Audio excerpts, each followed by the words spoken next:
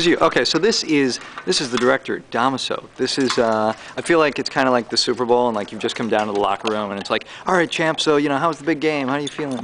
Because like your work, your work is done now. It's That's, well, yes. and how does it feel? yes, what I can do is done. How does it feel? It feels, um, it feels good. Uh, it's, uh, uh, I feel uh, really happy about where the play is, and um, it's ready to, I really feel like it's ready to open. So now you've been in L.A. directing and with the Furious Theater and other theaters around. Mm-hmm. Where were you before Los Angeles? Uh, before Los Angeles, I was in, uh, well, I grew up in Texas, Mhm. and, uh, and then I was in Chicago for a few years. Oh, really? Yeah. Okay, cool. I was born in Miami. Oh, so you've been all over the place. Yeah. Uh, and have you ever worked in Seattle before? Nope, not worked in Seattle. So It's been first a time. pleasure, though. First time up here. Very Yeah. cool. And um, have you ever done any Odets before or anything like that? Uh, I, pl- I, I played Agate Keller in uh, uh, Waiting for Lefty in high school. Oh, really? Yes. How was that?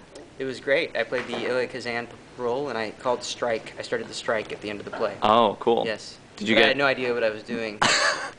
and I played him with an eye patch, and I had a limp. And uh, to to great acclaim. Uh, we did okay. awesome.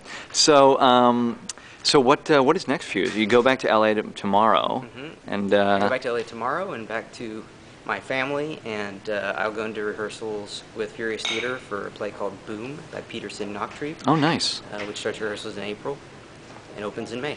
No no rest for the weary. That's right.